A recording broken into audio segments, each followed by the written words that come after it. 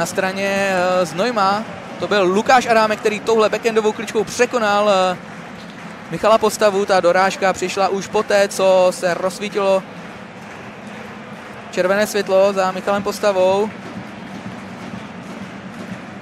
Nebo spíše zelené, protože Zubři na svém stadionu to červené nemají. Každopádně i na druhé straně udeřil Adámek a to Lukáš Adámek. Tady se díváme na gol Davida Březiny, který dával na 2-1 pro Předov ve druhé třetině. No a uběhlo 43 sekund. Gojš našel před bránou Darka Heitzmana, který byl úplně sám a parádní backendovou kličkou zvýšil předovské vedení na 3-1.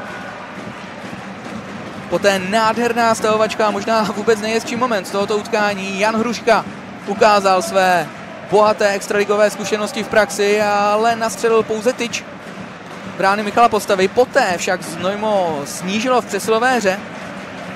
Prosadil se eh, Martin Šťovíček.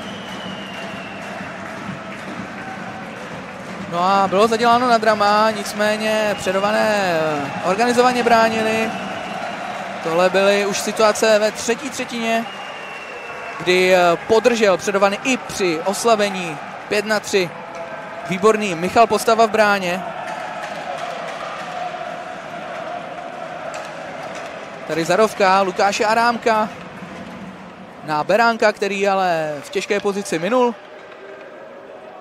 No a tady už závěrečné momenty, kdy skvěle Carlson našel eh, jednoho ze spoluhráčů, byl to Tomáš Svoboda, který eh, nepřekonal postavu, no a tady to byl Šťovíček, kdo